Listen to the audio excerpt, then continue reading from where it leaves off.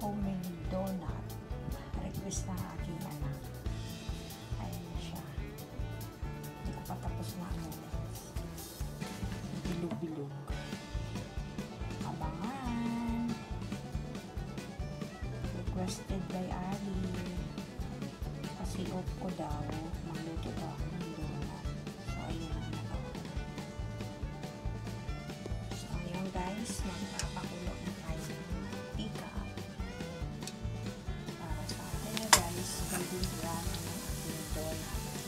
Filipino version.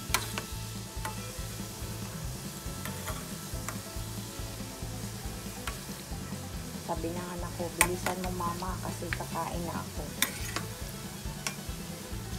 Kasi namimiss na daw niya. Lutong bahay lang. Basta mabilog. Donut na yan guys. Pag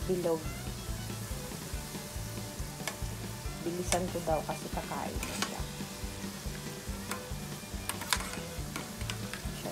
Golden brown.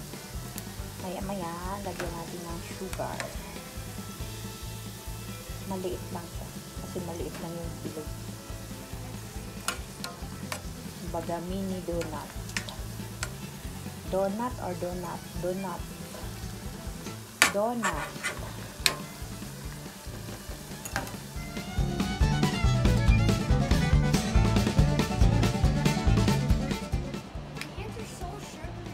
How about the taste of donut? Good.